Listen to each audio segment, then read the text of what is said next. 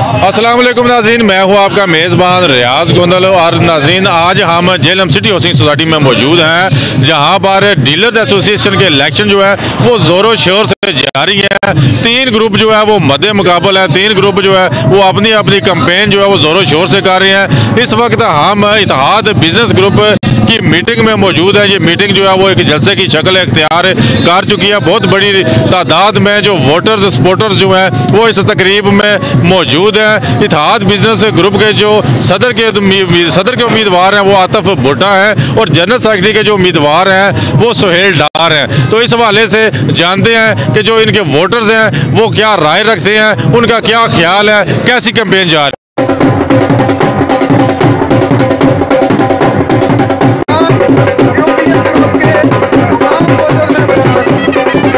हम लोग पहले किसी और यूनियन का हिस्सा थे, पहले वाली यूनियन का। इस वक्त हम उनको छोड़ के देखा है कि ये अच्छा कारोबार करने वाले हैं, आतो भुट्टा साहब, और अच्छा काम करेंगे, इसलिए इनके साथ आए और माशाल्लाह लोग, दो जोग दर जोग जो है ना, आ रहे हैं साथ।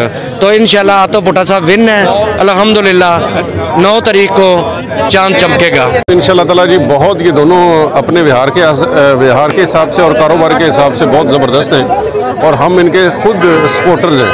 और इन ताला सिटी हाउसिंग में आने वाले सिलेक्शन के बाद आप देखेंगे कि बहुत तब्दीली आएगी।